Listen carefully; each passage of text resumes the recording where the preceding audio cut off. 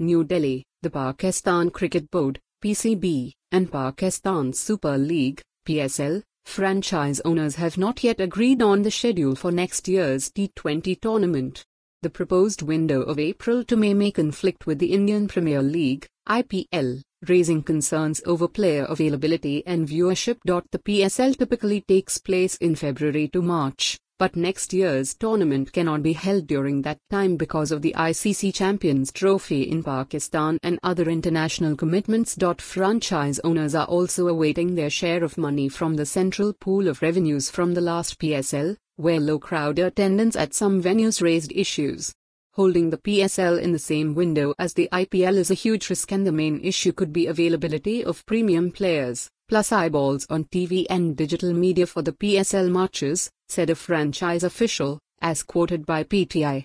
The PCB proposed the April to May window, but franchise owners are still concerned about the clash with the IPL, which attracts top players and significant viewership.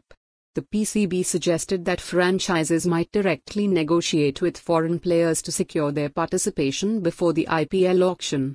We have been told we can at least confirm negotiations with one to two marquee level players. But it is not final yet, the official added. PSL has been the PCB's largest source of income since it started, but this dynamic changed in 2023. For the first time in 2023, PSL was not the PCB's biggest revenue generator, it was international cricket, said another franchise official. In 2023, the PCB earned 3.35 billion from the PSL compared to 5.5 billion from international cricket. For more on this story, visit the news article link.